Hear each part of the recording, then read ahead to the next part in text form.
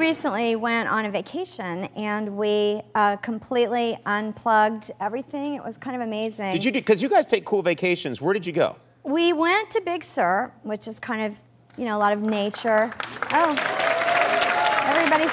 Everybody's, everybody in your audience is from Big Sur. We get the whole audience. Everyone is at Big Sur, and there's a bus that picks up our audience at Big Sur and drives them down the coast. It's, it's very elaborate. Five-hour drive. Yeah. yeah. yeah. so we went, and we were so tired. It was at Thanksgiving, and we literally checked our cell phones at the front desk of the hotel and didn't have cell phones for 10 days, didn't have any electronics. And it was amazing. There was no, you know, like separation anxiety or anything like that. We just immediately started doing like 500 jigsaw puzzles and reading books, and I, I kind of got to know him all over again. I, I learned his middle name.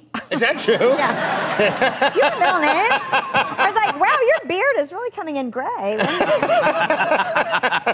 he didn't realize my hair had gotten longer. Yeah. It was the whole You're thing. supposed to realize how much you love each other, not things like you have a middle name. Oh, you're Protestant. You're not supposed to remember. Yeah. You're not supposed you to should figure get that like mole that out. looked Yeah. at. Yeah.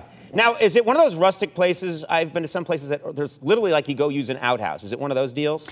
Uh, no, it's extremely fancy. However, Conan, Mm-hmm. I think I would do well, and Andy, I think I would do well in, in a rustic setting because one of my special skills that really not very many people know about is that I enjoy peeing outside.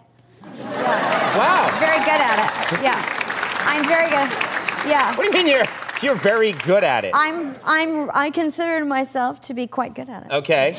And Like uh, like okay, all right. So I recently went to the next level.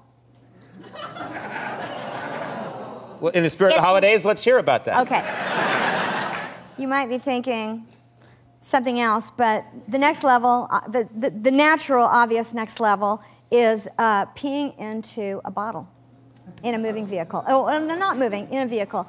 So, That, uh, that was not what I was thinking as the next level. Anyway. No. That- Anyway. yeah. no, I wanted to challenge myself. We were, uh, we were stalled out on the highway somewhere between North and South Carolina on our comedy tour because we drive ourselves, we rent an SUV and drive. So we're in this car and we are at a complete standstill for two hours behind uh, an accident involving a logging truck, if you must know. And I had to use the restroom and I couldn't get out of the car because everybody's at a full stop and there's headlights and And people you know, probably wandering around. You can't go out there, yeah. no, there's a lot of stuff happening. So um, Nick cut off the top of a plastic bottle, and I crawled over the front seat into the back seat, and it was crammed with all of our luggage and our dog crate and our guitar cases and you know all these things. So I, I get in there and I'm in a little space that's just like this bag, and I have my little bottle, and I did it, and and I did it, and then. Uh, and the bottle almost wasn't big enough because I really had to go. Yeah. And then Nick just like, it was like a medical show. He just opened the door of the car and he just poured it out onto the highway. Because that's what they do in To me, that's shows. true love. That is a true loving couple Yeah. where you work with that kind of synchronicity. Right. That's right. That's beautiful. Thank you.